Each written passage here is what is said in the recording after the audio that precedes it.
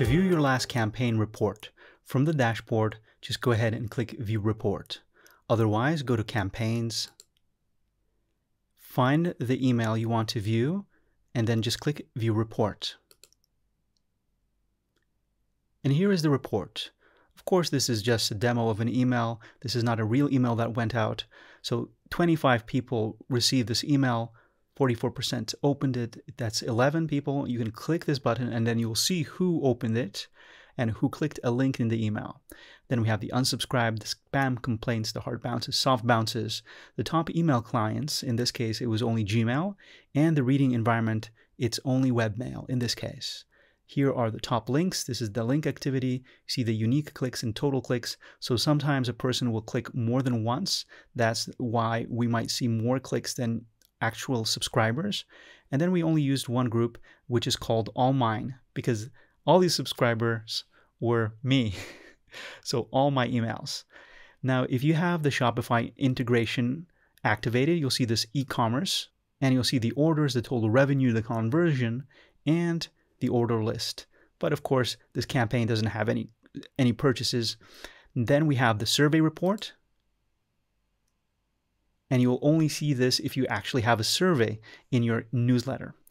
And here is the report. I only had two questions in my survey. How would you rate our new product line? Six votes said they loved it. Two votes uh, they they almost loved it.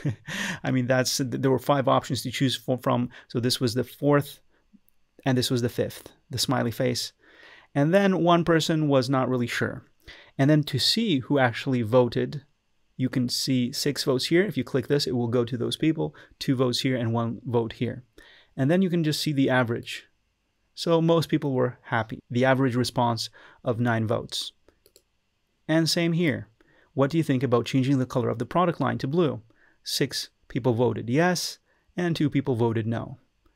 Then, of course, you can also export this to CSV or a CSV file that is specially prepared for Excel. Then you can view the email. And if you're on a premium plan, you have this click map. This basically shows the percentage of where people were clicking. We only had a couple of links here. We only had one link to the survey here, so most people were clicking around here. If you have more links, links around the email, you'll see the clicks, the percentage all over your email, depending on how many links you have. And of course, if you want to turn off the click map, just turn it off and you can see a full view of your whole email over here. Of course, the preview is here. You can just copy the URL, save it as a PDF if you want. And if you want to download as HTML, we'll just copy the URL and then save as HTML in your browser.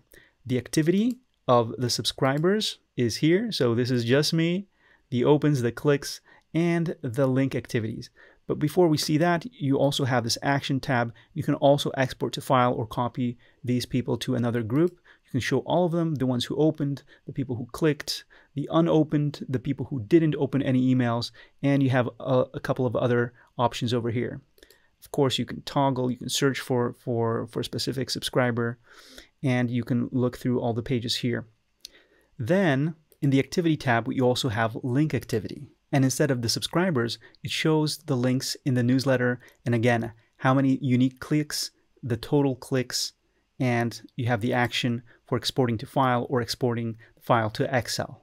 Okay, let's go back to open by location. And here you'll see the location of the subscribers. Now, all of the subscribers were from the United States in my case, but normally if you have the premium plan and go to open by locations, you'll see your, all the subscribers from the different countries they subscribed from. One more thing, if you go to campaigns, there is a drop down by view report. You can download your report or print your report. And that's all for now. Thank you for watching this tutorial. Have a wonderful day and I'll see you in the next video. Hey, thanks for watching the video.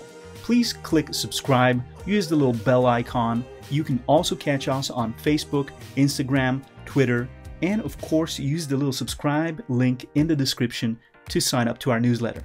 Thanks again, and see you in the next video.